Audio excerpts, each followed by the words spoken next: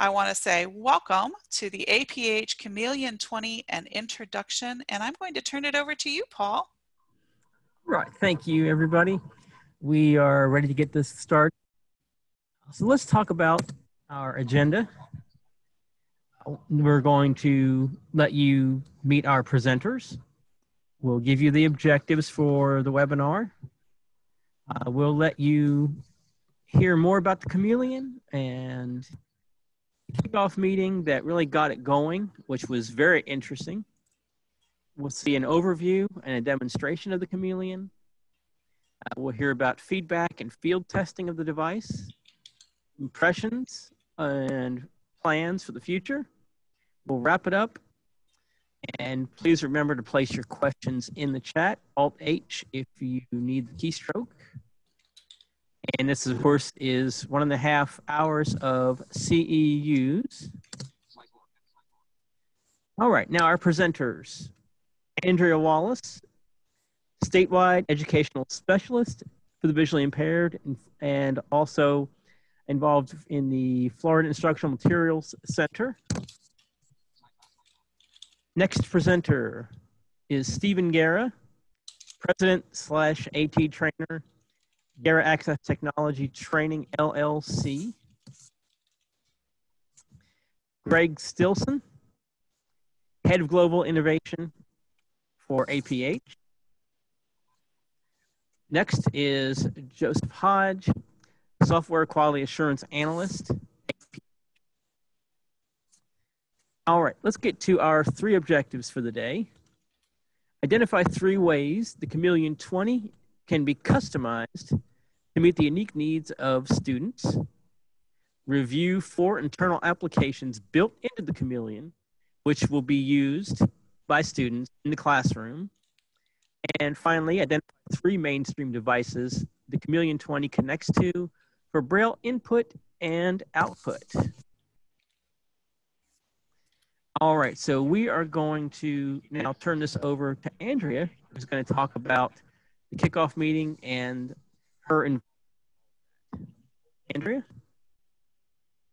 Thanks so much, Paul. Um, if you could change the slide for me to the next slide. Awesome, thank you. So back in May 2019, APH organized a, a group of very passionate professionals um, to sit at the table and talk about the needs for refreshable Braille display. It was the BR20 kickoff meeting. Um, we had representation from residential school teachers to itinerant teachers, product developers, and consumers there to brainstorm. And APH uh, gave us a blank slate and said, reaching pie in the sky, hence my picture here of a pie chart uh, in floating in the clouds. That's our pie in the sky with some of our wish lists noted on it. Um, we got to brainstorm about what things we'd like to see and what would benefit students most.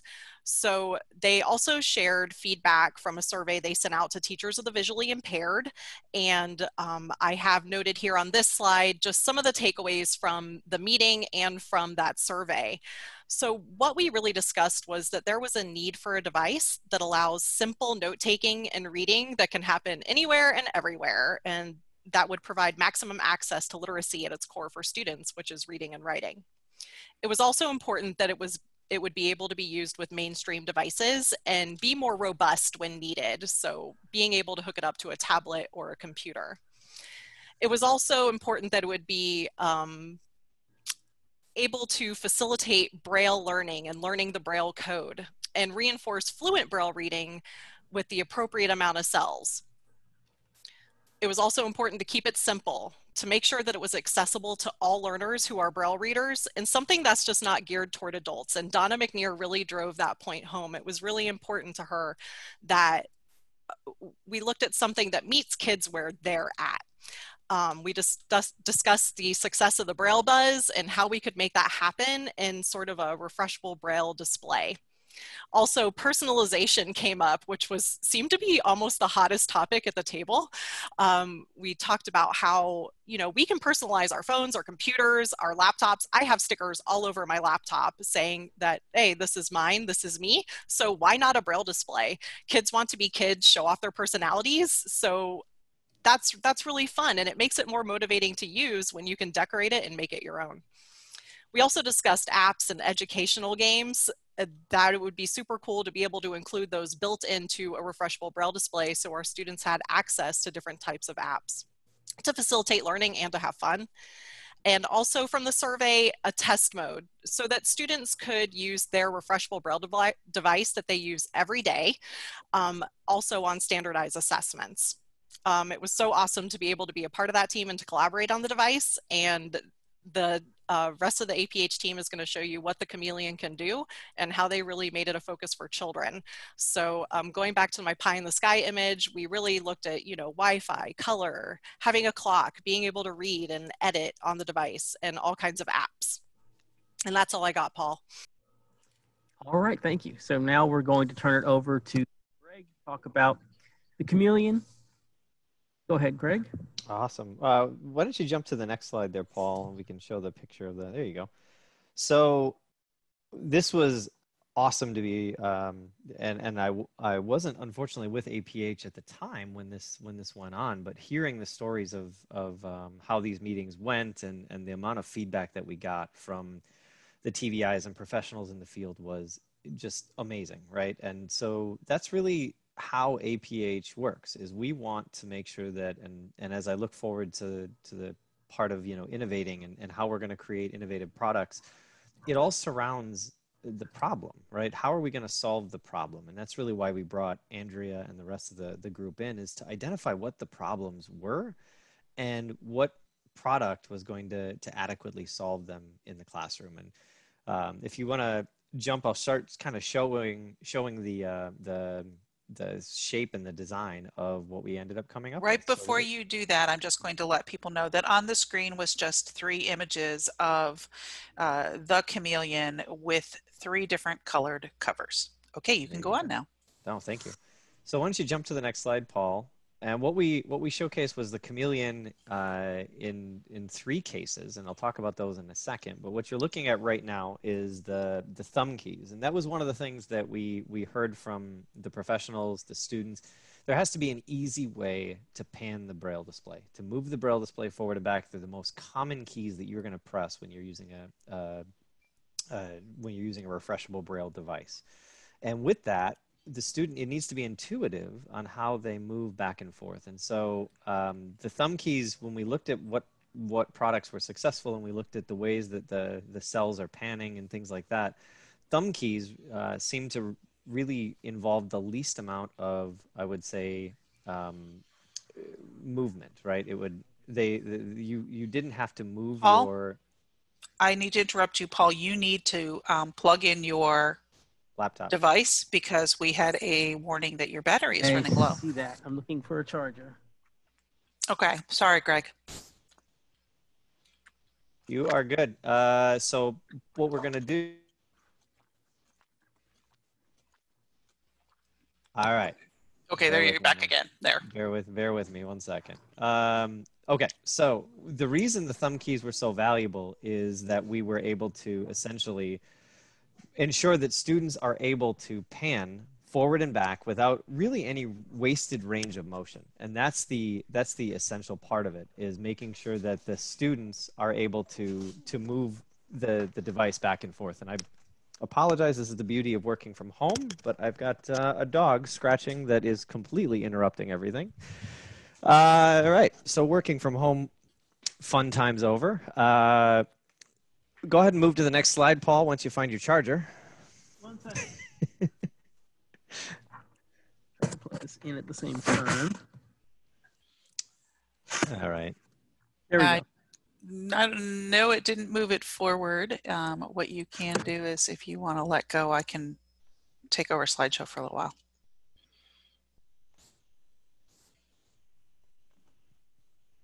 Paul, if you want to jump to the Zoom meeting, there you go. You got it. Okay, and I'll pop on and share. And I'm just going to move over to the slide. Sorry to make people who see a little crazy with side, slides. Okay, I'm viewing the right slide now. Okay, so if we look at the, the, the various, actually, why don't you jump to the next one? Mm, view back. You got it.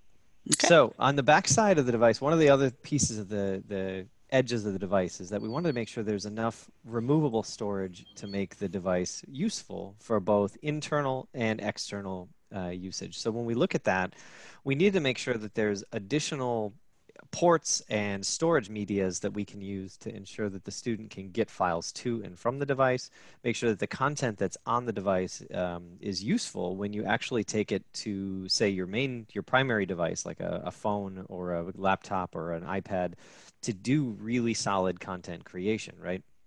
So uh, what you see on the back is the SD card slot. There's a, an SD card that takes up to 64 gigabytes of storage.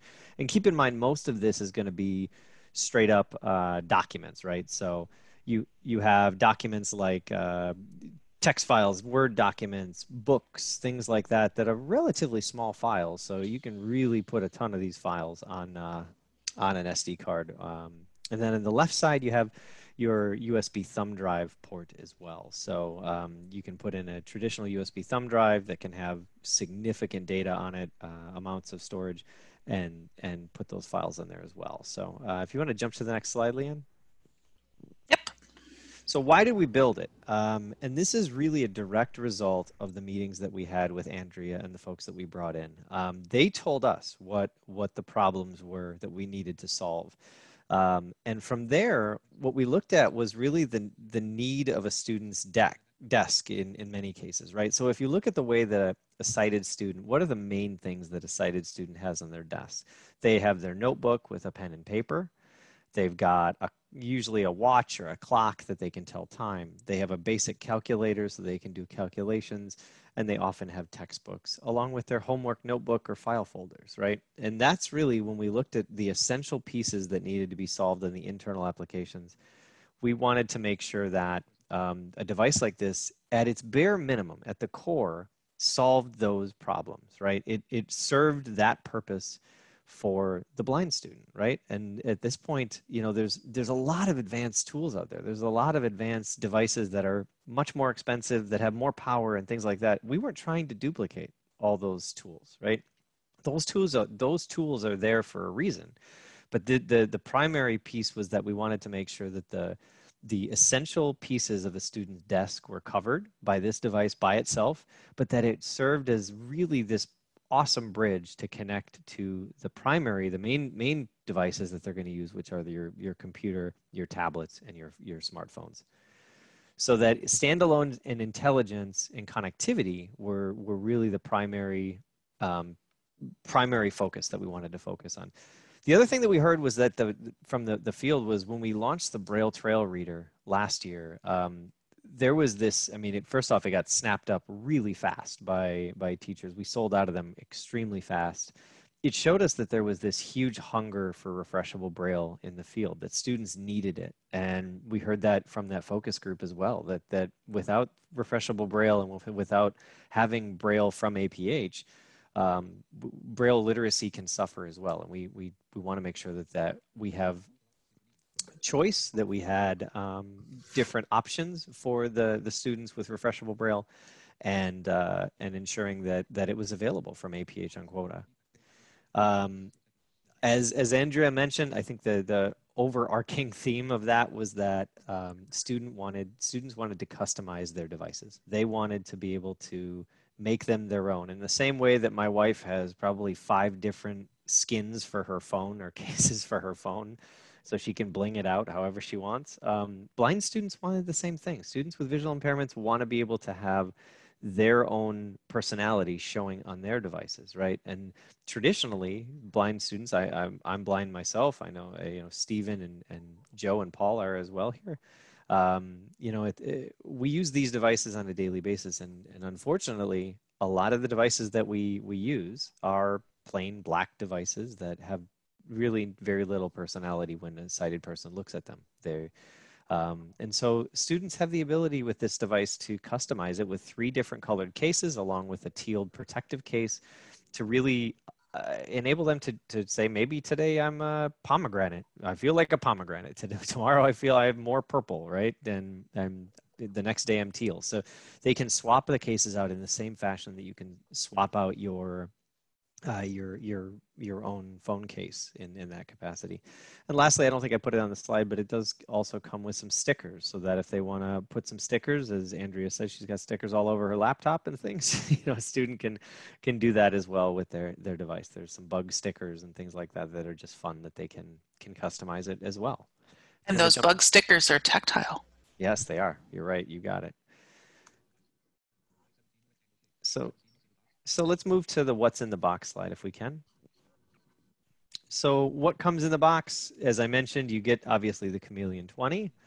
You get a USB-C charging cable, and that's something that is really uh, important because the USB-C charging cable is reversible, meaning that students can't put it in the wrong way. Uh, I can't tell you the number of times when I, in prior, my you know my prior organizations and companies I've worked at, we've developed products, and back then, you micro USB was the standard. Unfortunately, micro USB you can put it in upside down, and uh, the prongs can get bent if the student forces it in, things like that.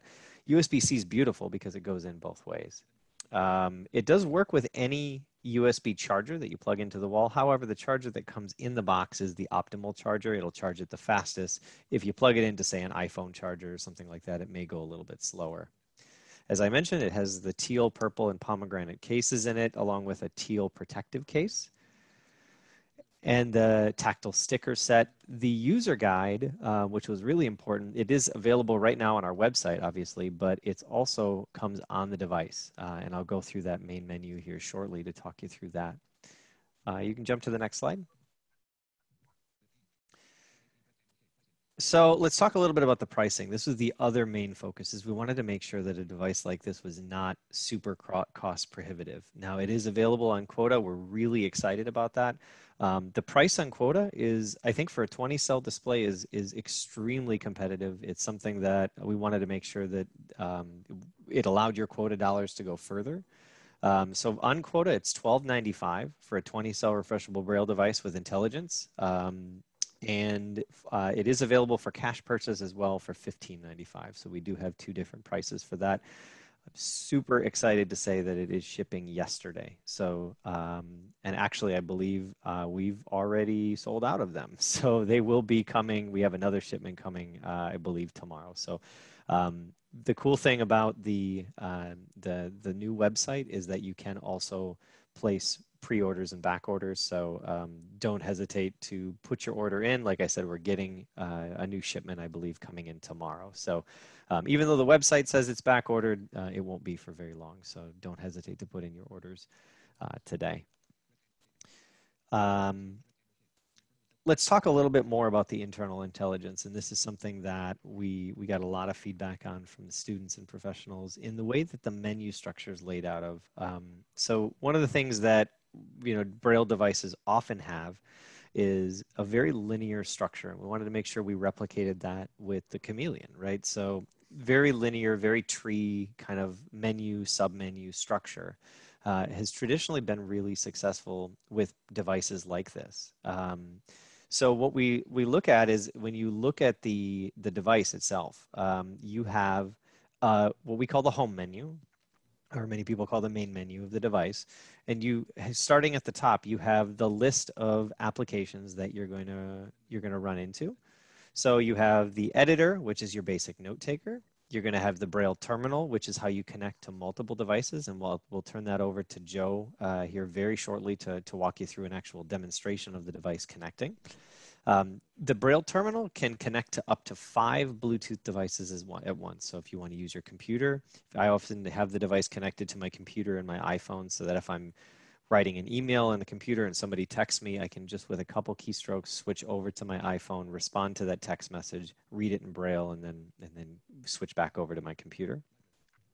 You have the library application. So as as um, as Andrea mentioned, one of the requirements of this device was that it had Wi-Fi. Um, we don't want to just be able to read books when you're connected to a phone or to a computer, but by itself, right? And that's that's really important because oftentimes it's it's super beneficial to be able to just have the device working um, without needing to to be connected to anything else, right? So you can connect to uh, personal Wi-Fi networks and be able to Uh, and when I say personal Wi-Fi networks, I mean you're not going to connect to public networks, so it doesn't have a web browser inside of it. So if you are connecting to say a hotel Wi-Fi, or if your school Wi-Fi requires that the student types in their their user ID or something like that, um, you may need to work with your IT department to get a different connection. I know that oftentimes schools uh, do have personal networks or, or staff networks that they allow their student to connect to to download books and things like that. Remember, this device has no internet browser at all, so the student's capacity to do anything uh, negligent or, or bad is is is going to be uh, very very limited. They don't have a, outside of the ability to download from Bookshare or NFB Newsline. Uh, they they don't really have a lot of other options on this device. Uh, so as I said, it has a, a, a, a library application, so you can dig go and download your books from Bookshare. Uh, you have the file manager, and this was something that was really crucial, right? It, that's a core skill that students need to develop is organization, right? Students who are sighted often have their assignment notebooks, they have their file folders that they put their, their worksheets in and things like that. And we wanted to make sure that the blind student or the, the student who's using this device has the same uh, tools to start developing those skills as well. At the same time, they're also developing file management electronic skills. They're understanding the ways that files and folders are nested together. So you can create, you know, you have drives and you have folders and you have files and getting that, that core um, understanding is crucial because throughout the rest of their, their careers or their, you know, when they, when they get closer to, to employment, they're going to have to understand how uh, computer systems are laid out and how how files and folders are are coordinated together, right? So file manager, they can move around files, copying, pasting, creating folders, things like that in the device. Remember, this is all on the device itself, not connected to any other tools. There's that basic calculator that allows them to do, you know, your basic, uh, I would say four function calculations, plus minus divided by uh, multiplication, things like that. It does have a date and time checker, so they can check their time in class. You have your settings. Uh, online services allows them to make the the sign to to use their um, to sign into things like Bookshare and NFB Newsline. And then the last thing is making sure that the user guide was right there on the main menu. And the cool thing that Joe will show you is that everything that you use from any menu, regardless of whether it's the main menu or any sub menus, is all access accessible through first letter navigation. That's something as as a blind person myself, um, you know, our assistive technology that we use, whether it's these devices or screen readers, um, first letter navigation allows you to kind of jump over a lot of the stuff that sighted people are able to filter filter out, right? So if you're looking at your desktop and you want to jump to um, your your um, let's say Office 365 folder, right? If you press the letter O, you know, it'll only jump to the items that start with the letter O, allowing you to quickly jump over all the unnecessary ones that you're not looking for. And the same thing works with uh, with with this device. The Chameleon allows you to jump by first letter navigation to um, to those to those different um, different options what I'm going to do here before I turn it over to Joe, uh, if it's all right with you, Joe, I, I don't want to take your thunder. If you were if you were planning on doing it, I'll I'll uh, turn it over now. But I was going to using my camera just kind of show the device in it in its full entirety. Is that all right? Yeah, go ahead. That's fine. Uh, all right, perfect. So and I've got two questions for you, Greg, really fast. Yeah, well, I'm the first one I want to clarify. You, it is definitely a basic calculator, not a scientific calculator. Absolutely. Yep. Okay, Correct. it is a you're basic not do, calculator. You're not going to do graphing functions or you know logarithms okay. and stuff like that. Yep. Exactly. Okay. And it was said quickly. I want to clarify. So this means a student could read a book on one device and take notes on another and toggle back and forth easily and quickly. That's correct. Or okay. you can even be super fancy and read your book on this device and then switch over to your editor application and take notes right on this device. So uh, because it has Bookshare connectivity internally, you can use your Bookshare book, read your Bookshare book in Braille directly on this device and you can uh, switch over to your editor and take your notes right on that book as well. So it's however you want to do it. If you're using a, a book like Voice Dream or a, a tool like Voice Dream Reader or something like that on your iPhone, and that's how you read your Bookshare books, you can do that on your iPhone. Uh, and then I'll walk through some of the buttons that are available. You can switch over to your Chameleon and take notes on that device as well. So it's however you want to do it, really. Are you sharing? Do you need to share a different, uh, share your computer? Or do I need, do you need me to stop sharing? There we go. Got it. All right. I am going to stop sharing so they see that large. Okay. All right. So let me switch over to so that I'm able to ensure that I'm. All right. So what you're seeing here is the face of the device. So the device has your traditional uh, eight eight dot braille entry keyboard. Um, it's designed for smaller hands, but it also I, I I mean I don't have huge hands, but it is super comfortable to type on. I'll also mention that it's super quiet. Um, this device does not have click clacky cle- keys. It's really quiet when you type on it. Um, down below, you have your 20 refreshable braille cells. These are the piezoelectric cells. You, the very traditional um, cells is not using any new technology. These are the, the tried and true uh, refreshable braille cells that are used in virtually every other of your your your classic um, refreshable braille devices. Above it, you have 20 cursor router keys. We are super passionate here at APH about cursor router keys because it allows you to do that on the fly editing. If I'm reading, um, if I'm reading a, a, a document and I find a mistake, all I need to do is raise my finger up, tap the cursor router key, and my cursor would go right to that cell. It's very similar to the way that a sighted person in a Microsoft Word document is reading along. They point and click, and their cursor moves directly to that location. So, uh, cursor router keys. Below that, there are two space bars. They do the exact same thing, uh, no difference. It's just a matter of whether you're you like using your right thumb or your left thumb. If I turn it, and Leanne, let me know if I'm not, if I'm too close or too far You're away. too close at the moment. All right, we're gonna move it up. Sorry, this is uh, we're on the. I'm gonna move to this side actually, and let me know if you can see that at all. Mm, it's out of frame. Out of frame. And you're going to have to pull up just a hair. All right. There we, whoop, almost. Sorry. That's okay. I know. Hey, camera and can't We see the picture. doing- I get it. welcome, Welcome to COVID time demos, folks. This is uh, you're learning with us. This is this is good times. Um, You're going to have to pull the camera way up for us to see that. It's not not as easy as I thought. I know. All the right. cameras give us some. There you go. Perfect. Don't move. Okay. Ha. Don't move, Greg. So on this side, you have a headphone jack, a volume up, and a volume down. And those are not active right now. We are finalizing some licensing agreements, um, but it is our hope that by the end of the year, we're going to have text to speech on this device as well. So right now, there is no speech. Um, for those of you who participated in the Mantis. Um, Mantis uh, webinars in the past, very similar to Mantis, where you have um, only Braille, uh, but it is our expectation that by the end of the year we should have text to speech on this as well. So not only can your student listen to or read the books in Braille, but they're going to actually be able to listen to them for that sort of multimodal experience as well. Uh, on the front of the device, you have your your thumb keys. So you have your uh, your up, left, down, and right thumb keys. Basically, what that does is you pan your or sorry up, left, right, and down. That's And so I'm just going to describe that for those people that can't see. Sure. He went from left to right across that bottom edge. Left, right, then there's a center round button, and then two further um, rectangular shaped buttons. I, So I think my those favorite buttons again for me. my my favorite part of working with with Leanne is that she checks the blind guy's accessibility. like this is something that I should have ingrained in my presentation, and yet COVID's It's the teacher in me. I can't through- get it I out. love it. It's fantastic.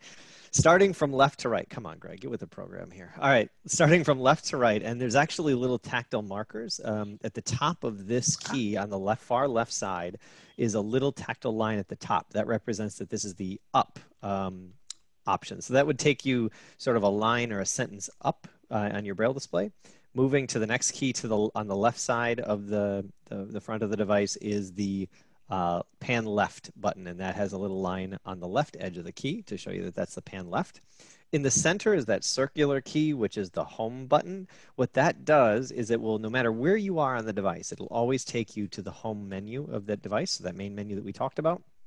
And it also is the tool that takes you, if you're connected to an extra, an, a, a different device, like an iPad or a computer or something like that, it'll take you from controlling that device back into the internal intelligence of this device. So when, let's say when you're switching from an iPad or a computer and you want to get back to taking notes on this device, you tap this, the center circular button, and it will take you back into the internal applications of the of the Chameleon.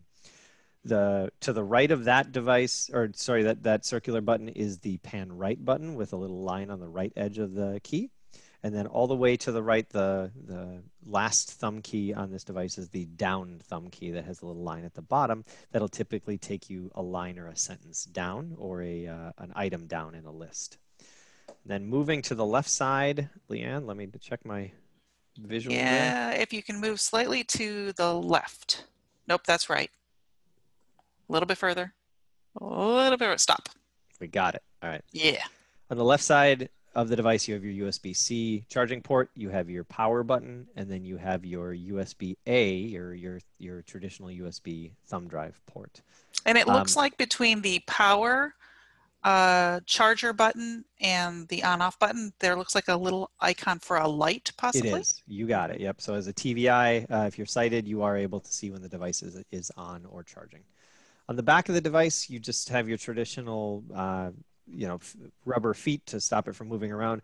This battery is removable um, so there's two screws here that are very simple to remove uh, so down the road if you do if your battery is not holding a charge or anything like that you can pop that off and replace the battery that's the chameleon in a nutshell. I'm going to turn it over to Joe to do many more better demonstrations than what I'm doing. Uh, and he's going to show you how it actually connects uh, to various devices and things like that. So I'll, I'll switch over to Joe and, and Joe can wow you with all the software functionality. Hello, everyone. Uh, you did great. You did good, Greg. I I, uh, I got it. So uh, what we're going to do is uh, we're going to do a, a, quick little demo here of using the Chameleon with a computer and an iPhone. So one of the Greg kind of touched on it briefly there. One of the nice things about this display, being uh, blind myself, I use it with multiple devices. So as we all sort of get into this technical world, we're using more and more devices on a daily basis. Oh my gosh, I, I use pretty much every operating system these days. So um, what's really fun is being able to switch in between my devices very fast and quickly. So I'm gonna, uh, I got my Chameleon here on the left-hand side of my computer. So I am going to, I'm at the editor. So as Greg mentioned, you can do first letter navigation. So I'm gonna hit T for terminal. I'm gonna press enter. Now what's great is I'm using Bluetooth uh, to connect to my devices. So I have right now on my Bluetooth connections, uh, I have my computer, my iPhone and iPad. For this demo, we're only going to be worried about the computer and the iPhone. So I'm going to press enter on my Bluetooth and I see my computer name. So I'm going to press enter again. And I'm using JAWS. So I'm going to actually start to, I'm going to share my screen here. And while he's sharing your screen, just so you know, I'm going to turn off the chat because we're going to hear JAWS. So if you end up having questions, please kind of hold on to them and we'll let you know when the chat is open again sorry. I got my speech real slow and uh, oh my gosh getting it to say share screen was uh, very long. So anyway it was at the very end where it said screen. And i was like okay that's what i want. Okay. Uh, so what we're going to do here is on my You're not just, yet sharing your screen yet though. I didn't let's see. Hold on one second Share there stop you go. This button to activate press space bar. Search box edit so, type in text computer braille. On my braille display here, I have JAWS actually last said computer braille, so that's what it's showing right now. So I'm going to go ahead and type in Word for Microsoft Word. Word, Word app. Press right. Press enter. List box Word. New list box. Blank document. And press enter. So now we're in a document. So I'm going to pause you for a minute, Joe. Answer a question. Did you type Word in your device or on your computer keyboard? That I actually typed on my keyboard, but now okay. I'm going to go over and start typing in Braille. So uh, what's what's nice about this is I used to work um, in a call center, and so I'm kind of familiar with the setup I have right now, where I have my device on the left hand side and my computer in front of me. So now I have the cursor uh, with JAWS. Uh, it's, it's actually blinking up and down, so that tells me I'm ready to type. So I'm just going to say hi and JAWS is not going to say anything because I have my typing off. So I wrote, uh, hi, my name is Joe. And I'm going to put two E's there. So I have a misspelling. So as I go back over and read it, uh, I can see that, I, oh, I put two E's. I can actually move my cursor on the braille display itself and I can delete with dot seven E. here one of those E's. So I have actually read what I wrote, realized I made a typo, and deleted it all on the braille display.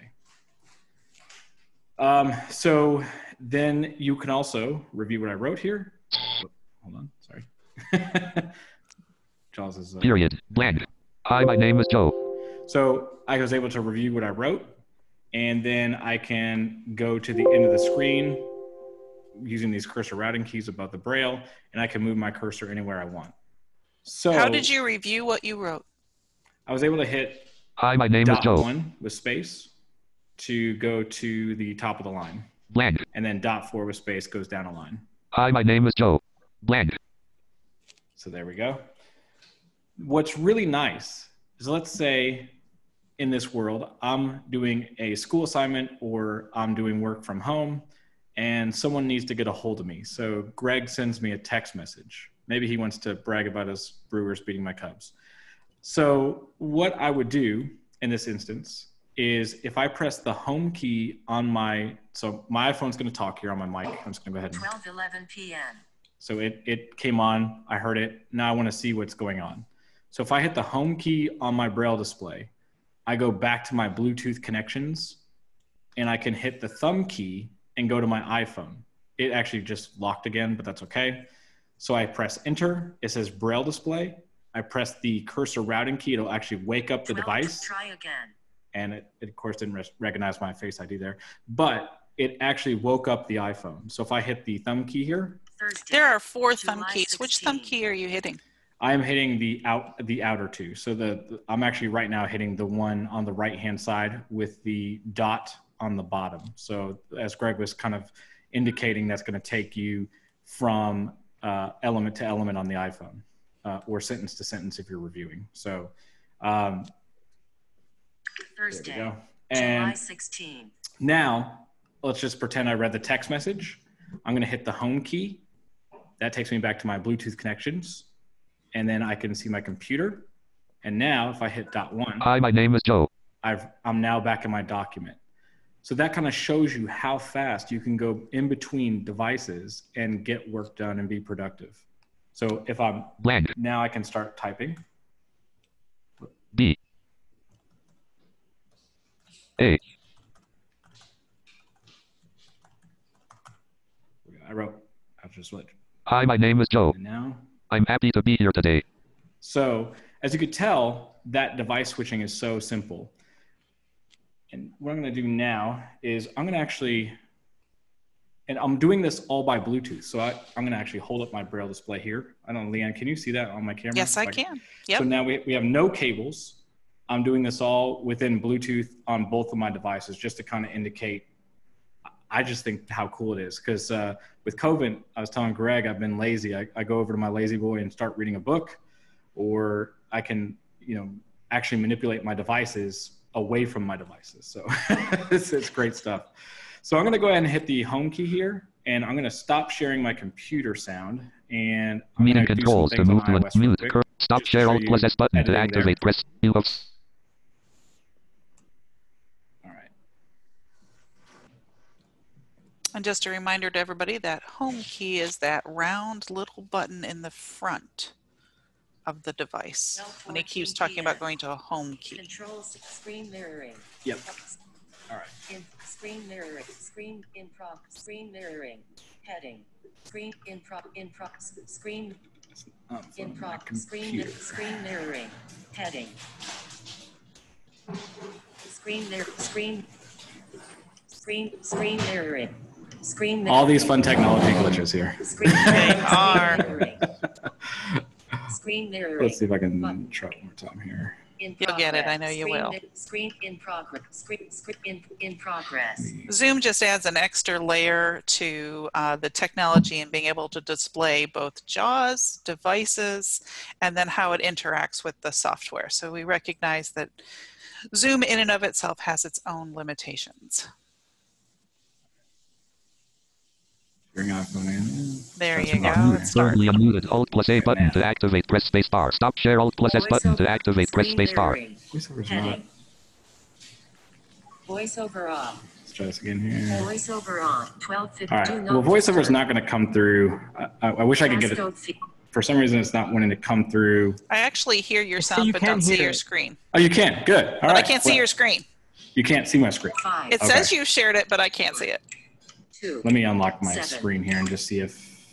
Messages. No, 30 unread messages. that's weird. Um, okay. Double tap to open. I'll just improvise. so, what we're going to do here is um, I'm going to just. uh, So, I'm on my Bluetooth connections here. if you'll stop sharing your screen, we are really seeing nothing. okay. Yeah. Let's just do that. Search box edit type. Meeting controls to move to a There you go. At least we'll see you. Okay, there we go. so I got Hi, my Joe. iPhone here, and I'm gonna hold it up, and I'm gonna hit the thumb key on the right hand side. Phone. 25 new items. So there's there's my phone, Faced 3. and I'm I'm basically navigating the home screen of my applications items. here. So I want to go to Mail, so which is in my Open a productivity folder. folder. So I go to productivity, and I hit the cursor routing key above the Double P, tap and hold and I'm gonna hit the right thumb key to go to Mail. Mail. 80 unread which it just said mail. So I'm going to hit the cursor routing key above open. that. And it opens. Mail. Mailboxes. Back button. And now we got mailboxes. So what we could do here is I can I can now. actually go through and read my mail. Compose. Or if I want to compose a message, uh, tap and hold I can go to compose at the very bottom of the screen. And I just use my finger to do that. Or you can hit four, five, six with space to go down to the bottom. Two. Text field. And now I'm actually in my Insertion two. point at start. So now I'm going to send Greg an email. G. R. So I typed in GR. That pulls him Message up on my list. Sub C. And. I can actually Text choose his name here. And now. I'm actually going to be able to type him a message. St- More inf- Greg Still G. Message body. So I'm going to, Send end of text. There we go. Insertion point at start. And I'm just going to say hi because we don't have, it's kind of hard to hold my phone up here and, and do braille at the same time. Years of experience, I guess. Hi. All right, there we go. So on my braille display, I'm actually reading hi. And then if I wanted to go back to my computer now, I can just hit the home key on the chameleon. And you guys won't hear this because I'm not sharing the screen, but I see Bluetooth. I can press enter. And now I'm actually in my Zoom window where I can see I'm actually got the leave button highlighted on my screen. So uh, I'm not gonna, I'm not ready to leave yet. So we're gonna navigate away from there. But that just kind of shows you a quick demo of how easy and friendly this is to navigate in between devices and use them quickly and responsively.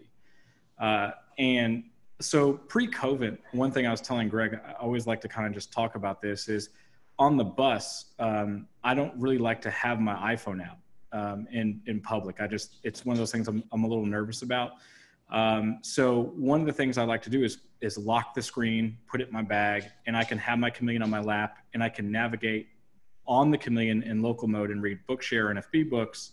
Uh, so Bookshare books are NFB Newsline, or I can actually you know go on and look at anything on my iPhone with it in my bag. So that actually just makes me feel a little safer. Um, so, to kind of wrap this up and sort of transition over to our next guest, what I want to talk about is how we sort of go through and evaluate the software. So, Andrea at the beginning talked about the, the meeting that we had where we had all the teachers in and we got their feedback. So, I do quality assurance. So, what we did is I, there we go, I take the uh, feedback that we get, put it in a system, and we take uh, all of the suggestions and we go to HumanWare and we, we write specs. So um, basically, what happened is we got the Chameleon. Uh, I believe we had that meeting in December. We were doing what's called field test and expert review in April. So it just kind of shows you how quickly times and things move. So um, what, what was great is we, we had already done at APH a 20 cell braille display. So normally what happens is you do field testing, which basically means it's a product that, that, that has never been done by APH or is, is a brand new idea.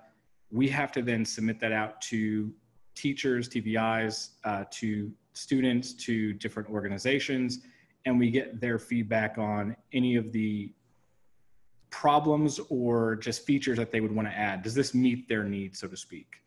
So uh, with the Chameleon, though, because we've already already had addressed the need on a previous uh, product that we had, we knew there was a need. We had a survey that we sent out. We knew that the field still wanted a 20 cell. So what we did is we actually, with the committee did an expert review. So in the APH newsletter, uh, I wrote up a document that basically just asked for expert reviewers. It went out and we got over 40 submissions back that I had to wade through and kind of go, okay, this person looks good, this person looks good.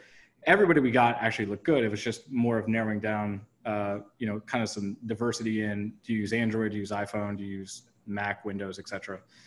Uh, so with us here today, we have Stephen Guerra, and he was one of the six reviewers that was selected to review the Chameleon. Uh, Stephen, you had it for, I believe, around two months. Um, and within that review period, we did a few surveys and we also did uh, kind of, you know, we had a few updates. We actually got to do, do the update process over Wi Fi. Um, and so that was that was kind of a really good experience. I'd like to, Stephen, um, I'd like to kind of bring you on and kind of talk about your experience. Um, so, so the first question I have for you, in a sense, is um, what do you think of the overall device, the Chameleon itself?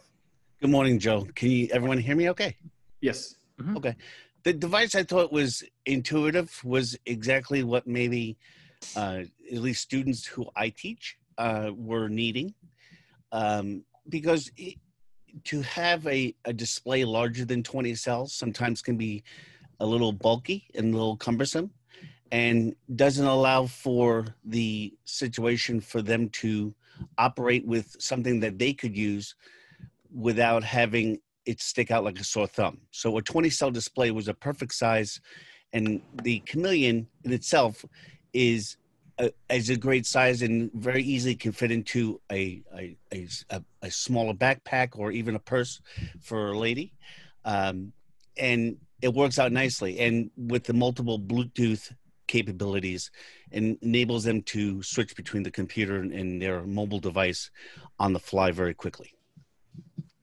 Awesome. And, and so I know me and Stephen, we addressed, we, we exchanged several emails throughout the, the process. I know, um, you know, of course, when we, when we first give you the Chameleon, it's sort of, it's, it's in beta process. So it's uh, going through changes. I know we had some issues getting connected to JAWS, but towards the end, um, when everything was working well, did you use it on multiple systems? Uh, how did you feel the how did you feel the actual operating system was as far as like first letter navigation? Uh, did you did you use it like any of the Bookshare and FB Newsline options on on board? I did, and um, here here I am, and most of the time with NFB Newsline, I've primarily used it with Braille devices, say for instance. So it, under Finger, it's wonderful to have the opportunity to read the publications that you want to read when you want to read them. Uh, connecting it to multiple computers and or to an iPad or iPhone, it made it possible that I could have Braille when and how I wanted it, and as quickly or as as easily as I possibly could have it. Uh, it's a wonderful medium. Braille's a wonderful medium to have, and to always use your voice or use the eloquence voice or whatever voice synthesizer you're using on your computer and or the voiceover for your iphone or ipad it to see the things in braille and using the chameleon as a braille display was a wonderful addition to have have the opportunity to reinvent or reintroduce myself to braille as i wanted uh, so i found it to be a, a, wonderful product and a product to certainly uh, be excited about for my st- students and or clients and uh, have them who those who do use braille to have the ability to have something as small and convenient as the chameleon and to continue to do and be a productive parts of society perfect and I, one more question and this is mainly also to just sort of educate the people that may be buyers out there um, I don't know that Greg touched on this, so I think it'd be good to ask. Um, I was looking back through your survey responses when we first, uh, you know, sent out the survey.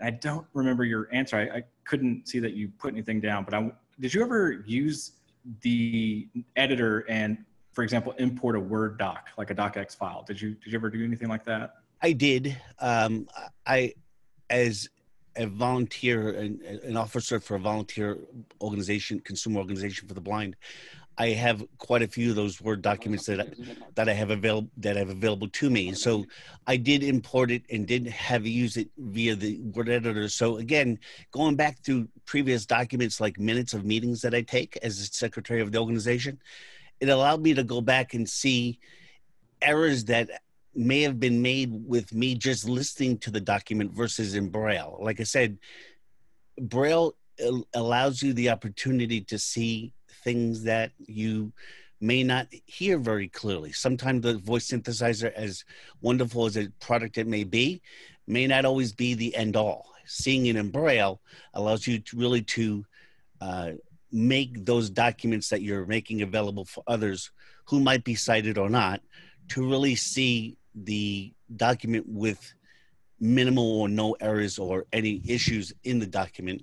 Sometimes using doing it electronically with voice, sometimes things tend to get missed. So that's why we have collaborations with others. So um, importing the Word document or having the Word document available on the editor uh, allowed me to see things that I did not see before that I was able to correct and move on. Great. Well, thank you again, Stephen, for partaking in the expert review and just providing all the feedback and making this a better product at the end of the day. Uh, we, we really do appreciate it. So, so thank you. Appreciate the opportunity. Thank you.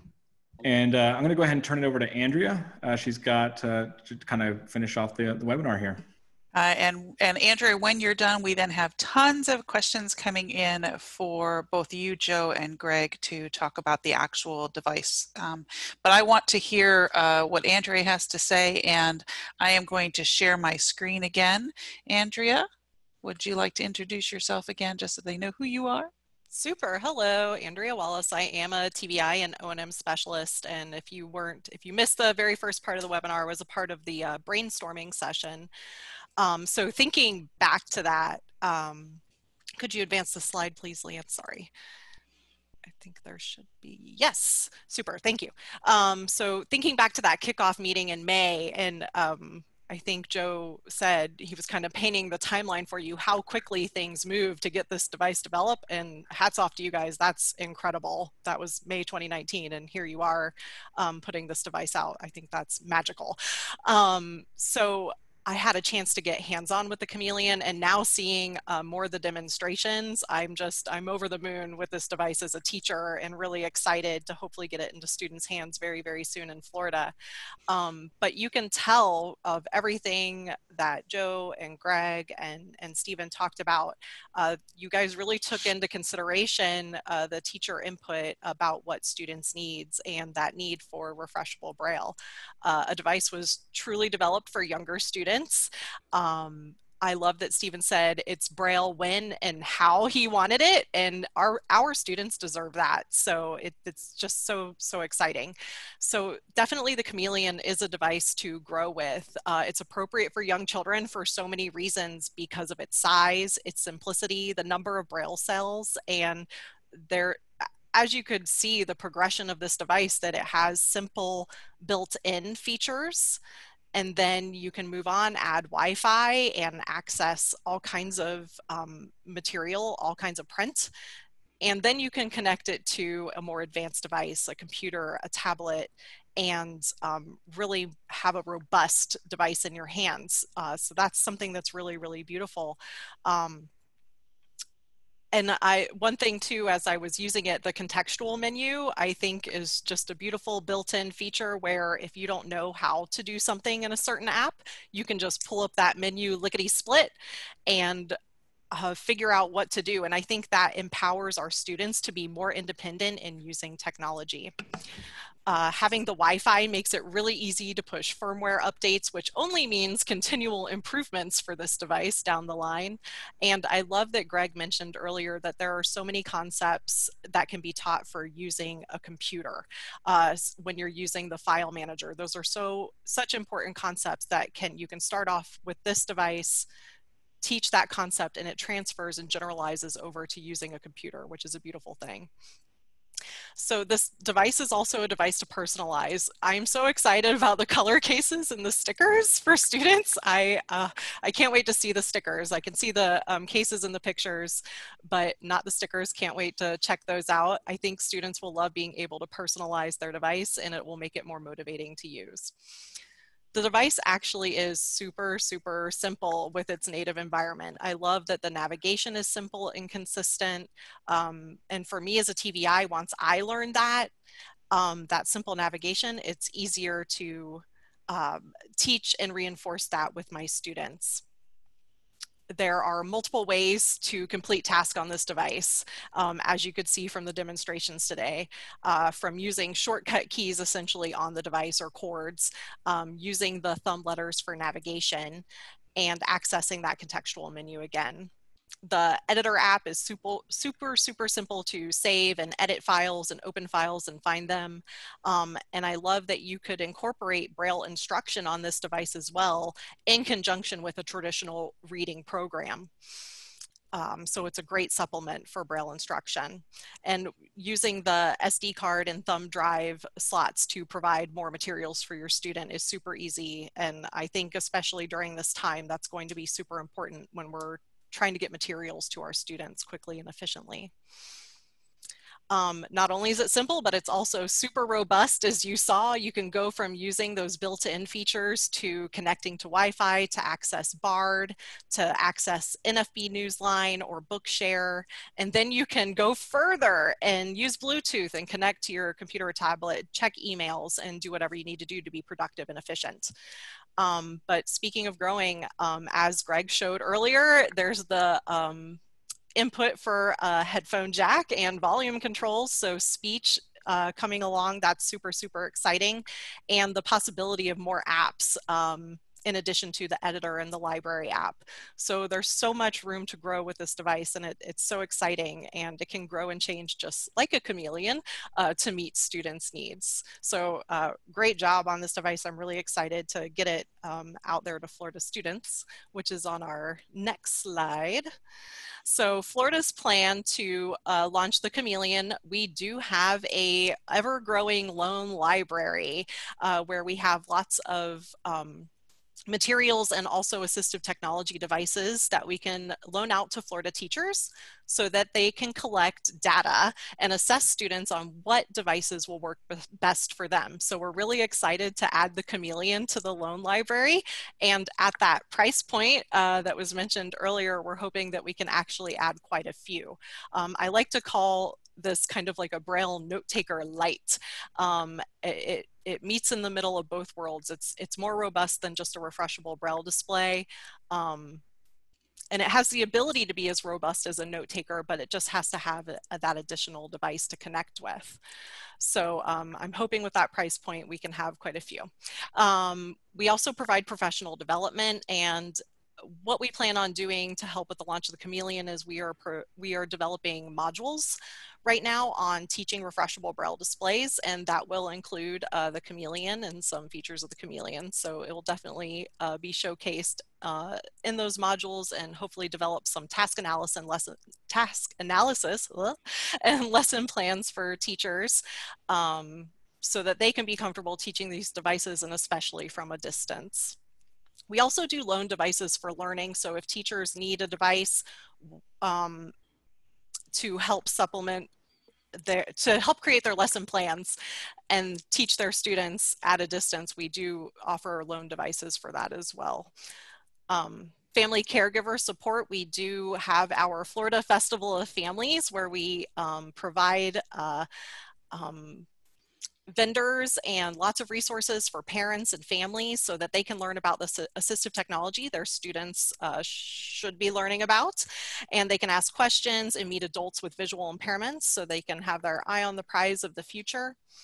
Um, but teachers are now connecting with families more than ever due to COVID-19 and really involving them in the education of of their students and their children. It's it's it's incredible to see now um, how families can help facilitate the learning of assistive technology devices and um, all kinds of things that they need to learn. So family involvement is really, really important if when it's possible. So just remember that that is an, I, an IDEA when it talks about assistive technology services that anybody who's involved in the education of a student with visual impairment uh, should learn about that assistive technology device that they are learning. Um, so thank you again for having me. It's so exciting to be a part of this launch. Thank, thank you. Thank you, Andrea, for all of that extra insight. I have learned so much just from listening. And I'm also going to continue learning because there's a lot of questions that have mounted. And if I can, I'd like to be able to go and look through some of those and see if we can field through them together, if that's good.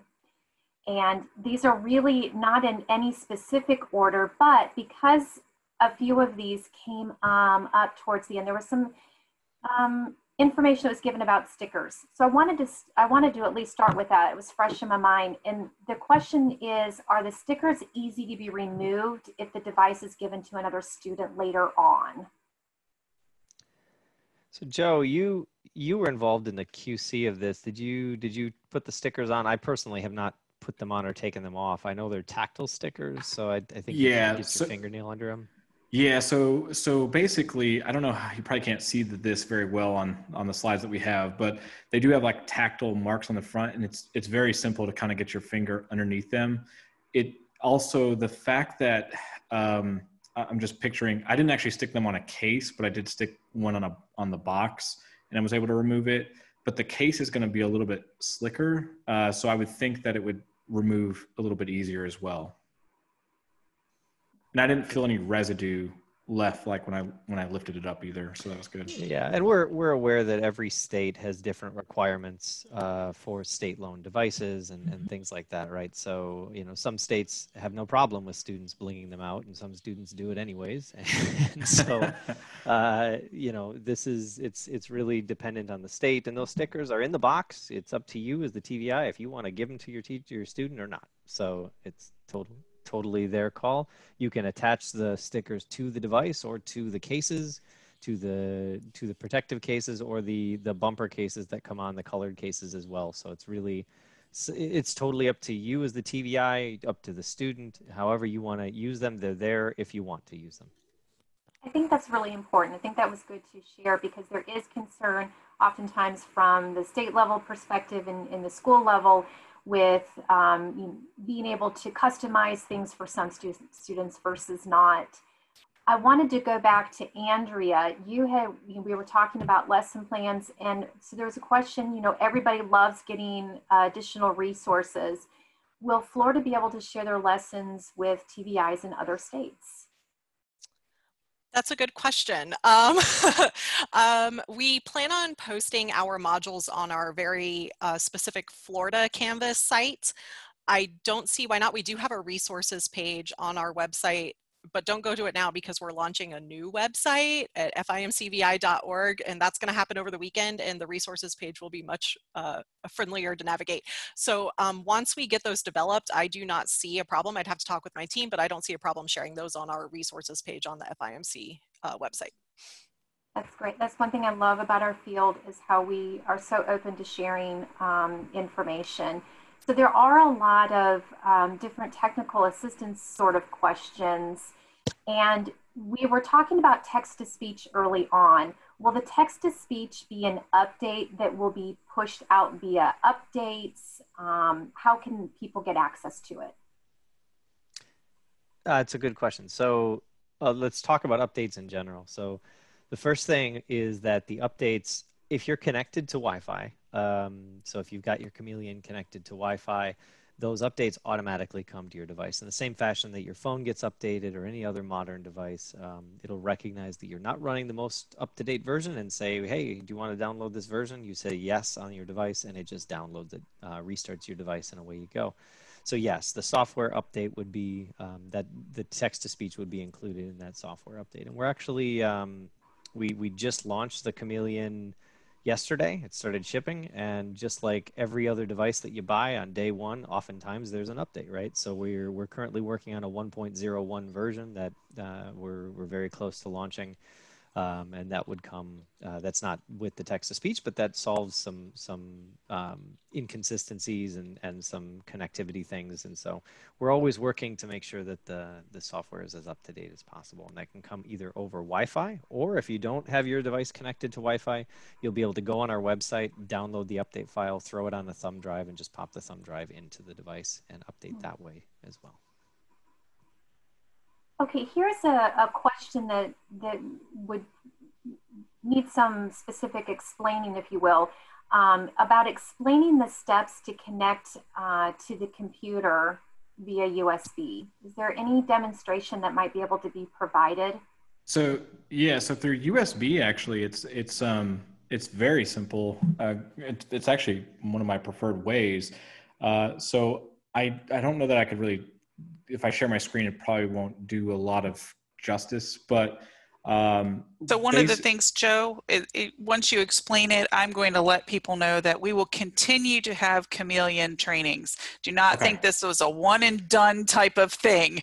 Uh, this is the beginning, and we can see that perfect. Okay, cool. Yeah. So basically, all you have to do is plug this USB-C end into the device on my computer, it does make a noise. I guess I could have demonstrated that, uh, but it just lets you know that it was connected. Um, so then I'm, I'm, back on the editor, so I can just hit the right thumb key or the space or T for terminal. Terminal is actually the next one down from editor. So I go to terminal, I press enter. The first option that comes up says USB connection. You just press enter on that, and it will say Braille display. Now, what will have to happen is I'm paired to JAWS right now uh, through Bluetooth, I would just have to restart JAWS and it would actually move over to the USB side. Um, so, and if like NVDA, if you just start, NVDA usually will auto detect when you change, but if not, you just restart NVDA and you are now using USB uh, C uh, to your computer to read the Braille display.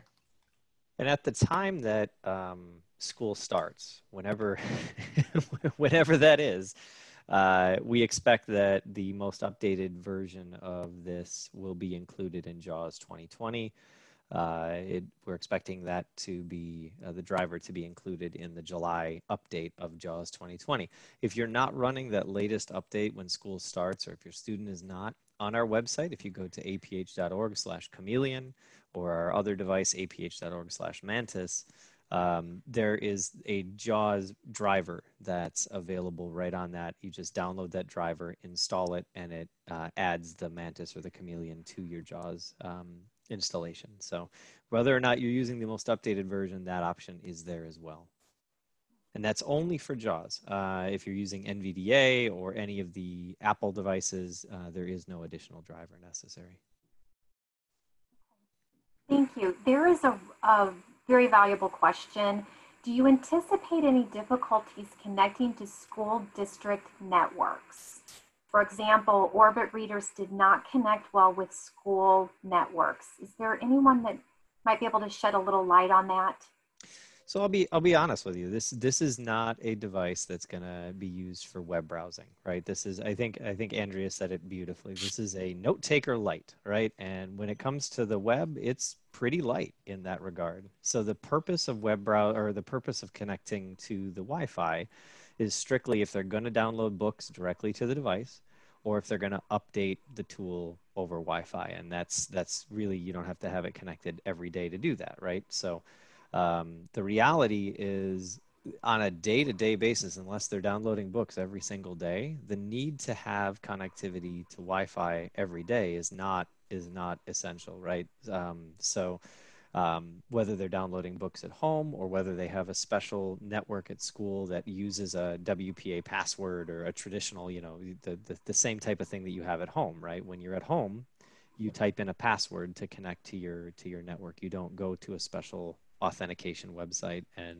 and authenticate that way with your student ID and things like that. And that this these are not new challenges that we've faced in the field um, due to the the requirements of these devices and things. So Um, if your if your device or if your your school does have uh, a network that allows you to type in a password to connect to it, it'll work immediately, right? But if you're using an, auth- an authentication uh, network, um, then we it, it will not connect and the reason being is because we don't have a web browser built into the device and that's that's you know I, have seen comments about making sure that we keep costs low that that's one of the highest development i would say costs and, and the reason why devices like you know advanced note takers and things like that are much more expensive is because there's a lot of effort and development that has to go into a device to make a non-visual web browser if that makes sense mm-hmm.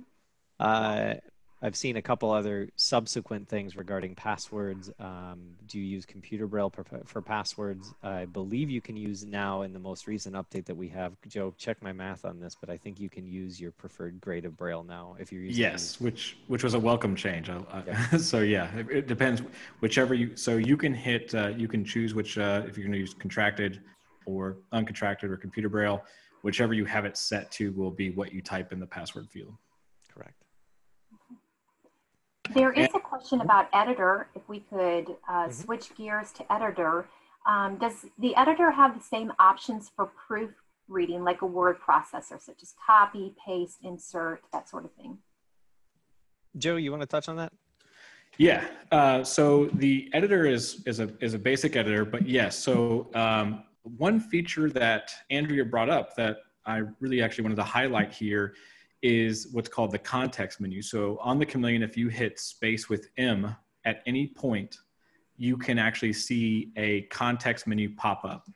And that will actually give you helpful um, suggestions of what you can do in that particular time. So if you're ever lost and you're kind of like, oh man, I don't remember how to copy. So for example, I'm in the editor now. So I would hit space with M and then that says file. I can hit the thumb key that says edit I can just press enter or cursor routing key. Uh, enter is dot eight. Um, so then I have find and it has, for example, space with F. So that tells me that's the, the command I would do to, to do find. So I'm going to just kind of arrow down through here. So I have find, I have replace, I have copy, which is actually backspace with Y. And then there's cut, paste, select text, and then select all and then you have close so that you can back out of that. So you can do things like cut from one file to another. You can um, obviously there's there's no uh, there's no like advanced features like spell checking or anything like that. But as far as you can sort of move text from one file to another, or if you're reading a book, you can copy that text and bring it in to your editor to to manipulate it into your text if you'd like. And I think that the the real value when you look at the um, the context menu is it's mm-hmm. very similar to to a computer in that when you would go to the menu bar on a computer. So if you go to the menu bar, you go to the file menu, uh, and I'm thinking of you know old school Office, right? Now they've got ribbons and sub ribbons and all that other fun stuff. But when you look at the way that the menu bar used to be, you would go to the file menu and you would see save, right? And right next to save, it would say control S. So you could remember the next time that you went to, that you needed to save a document, you could press control S. In the same fashion here, when you go to the context menu, you can find out that cut is space plus V, or sorry, space plus X to cut and paste is space plus V. So that your student, the next time that they need to do this, they, they can find and they can memorize their own keyboard shortcuts from that context menu. So you don't always have to have that manual sitting right next to you. It's right there in the context menu so that when your student asks you, hey, how do I do this command? You can say, well, go to the context menu. You find it. So one other quick thing, just to mention, we were kind of touching on on the last question, but then kind of moved into this question as well, is with translation. So let's say you're working with a really young student and they know a lot of grade one and a little bit of grade two. One of the nice things about this display is you can just do uh, backspace, so dot seven with space and G, and that will actually change your input from input, or sorry, uncontracted to contracted to computer on the fly. And it will actually change. So if I, I actually just move mine from contracted to uncontracted. So now if I type in something, it's going to be in, in grade one. So that's really nice for a young student that may uh, not know the whole code and you're kind of sort of teaching them little by little as, as you go. So I, I, love that that sort of translation on the fly that this has. Um, and and speaking of translation, uh, just to to comment there, so the Braille output is translated as you want. So you have uncontracted, as Joe said. If the student doesn't know the AND symbol and it's written there, and they're like, "What is that?" They can press the command to toggle uh, contracted to uncontracted, and expand the AND symbol to the AND. Uh, on the display. But the really cool piece as well is that there's built-in translation so that when the student is done writing their document, they could write that in their preferred grade of Braille, and we support um, tons of Braille codes, tons of languages. If you have a student who's reading a Spanish document, for example, and they want to read it in Spanish Braille, they can change their Braille output to be Spanish Braille. Um, same with their Braille input. So the cool thing with this is that the contractions, if they're writing in contracted Braille, if they take that file and they put it onto a thumb drive or an SD card and they give it to you, it's written when you open it as a text file you're seeing it in perfectly looking print at that point. So the translation is happening on the fly as it as it does in many of the braille note takers today. I saw two connection questions. One was does it connect to chromebook? And the other does it connect to mac connect? Which is so, android. yeah. So so there's there's two things. So google uh, I'm going to put the ownership on Google here. so we've done our part. Um, Google needs to put it into a future update of their Brailleback uh, software because Google uh, separates Braille and speech and many of their things. Um, they they uh, so I'm say preach. They there is uh, there is uh, the separation of speech and braille in Google, and so they do need to update Brailleback uh, to include our Mantis and Chameleon devices. Um, one thing that Joe didn't didn't show, and I think it's one of the cooler things that we've done in in the the modern device connections now that we're doing is traditionally when you're connecting to iOS, I'll use iOS as an example, you have to go into accessibility, voiceover, Braille, and then find your Braille display there the really cool thing with the way that we're using these new devices is we're using a, a, different style of connection. And the nice thing is is that now when you connect the mantis or the chameleon to your ios devices or your mac or your pc you do it through the traditional bluetooth setup. The same way that you pair a bluetooth keyboard or the same way that you pair your bluetooth headphones uh, you pair the chameleon or the mantis now. So you go to your settings you go to bluetooth you find it just like you'd find any other device and you pair it that way um, and yeah, great, Lori. I'm glad that makes you happy. Um, so at this point, it's done. You don't have to memorize a special way to pair your Braille displays. You pair it the same way that you teach your kid to pair a Bluetooth keyboard or their headphones. Uh, going back to the Google question, so it is our hope that that they do that prior to the school starting, but unfortunately, uh, this is where Greg and the rest of the team just throw up our hands and say it's out of our control now. definitely, definitely. One of the things I would like to say, um, this is Leanne again, you saw in the very beginning of this presentation the main menu components. And again, this is a kickoff. These are the beginning. So realize future trainings will come for smaller groups of those components and how to utilize those components, as well as reaching out to teachers and, and people who are using it. So Andrea and, and um, Oh, uh, Steve, thank you. I mean, that those that information from the field is what is so beneficial, and we want to make sure that we are um, working with all of you to get information out. Uh, we do share well in this field. That's probably a bonus in our field as we share very well. And so to continue to share. If you are looking for a specific type of training, that's something you tell us. We try to meet your needs, but unless you talk to us and tell us what you need, we're not always sure what you need. So please let us know. One of the, the bits of feedback, and uh, in my previous career, I worked 12 years at Humanware. One of the things we did was we, we really focused on those quick um, tutorial videos. I see they're still using them over there at Humanware, and Humanware's actually behind the partnership or the Humanware is behind this this this product on the the development side. This is a collaborative product between APH and Humanware. APH, you're going to see a lot of products like this uh, where we work with um, vendors and we work with um, AT partners in the in the field because that's that's how we create the best products for you um, that are available from APH is, is through partnerships. APH and the relationship that we have with the the, the field and and you all and, and and this is an example of that with the way that we worked with Andrea and the rest of the team um, to understand the needs is is really how we serve you best. And so when you see products like this in partnership with AT companies and mainstream companies and things like that, it ensures that you're getting the best possible product. And so um, when I when I look at what um, Humanware is doing with their their you know uh, tutorial videos and stuff like that, it's and the feedback that we've gotten on those type of videos, our hope is to be putting out when Chameleon when the school starts that we'll have some quick tip videos um, to show you individual features or individual tasks, really task-based um, things that, that we're going to be doing. We've started creating a few of those for Mantis, and uh, our hope is to do the same for Chameleon. So you can check out our YouTube channel or down the road, potentially uh, we'll, we'll, we'll have those up on our own uh, site as well.